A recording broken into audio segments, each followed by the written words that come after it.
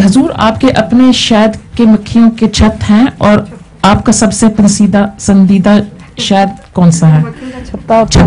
Sorry का छत्ता होता मक्खियों का छत्ता हमारे पास इस्लामाबाद में था और काफ़ी उसका शहद निकला करता था। फिर आस्ता आस्ता उजाड़ गया उजाड़ हो गया। बाकी शहद की मक्खियाँ काटती बहुत हैं लोगों को। पता है आपको? शहद की मक्खी काटे तो बड़े गहरे जख्म हो जाते हैं। और बाद लोग जो सेंसिटिव हों शहद की मक्खी को, वो उससे फौत भी हो जाते हैं। तो उसका इलाज मेरे पास होम्योपैथिक था। वो नेक्टमोर वो दिया करता था, उससे मक्खी और भून के कांटे का हल था।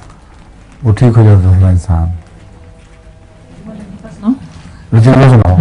हजूर एक आदमी घर पहुँच हो हाँ, हजूर एक आदमी घर पहुँच रहा था उसका फ़ोन बज रहा था।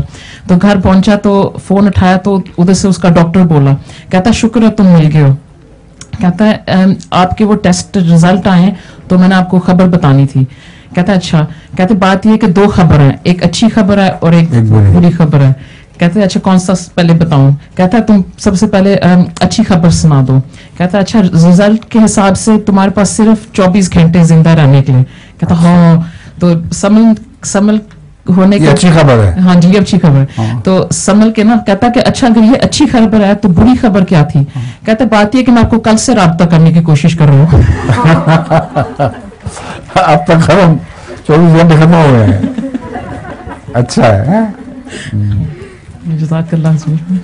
आपने पिछली दफ़ा भी सुनाया था एक बड़ा अच्छा। है? आइंदा के मुतालिक।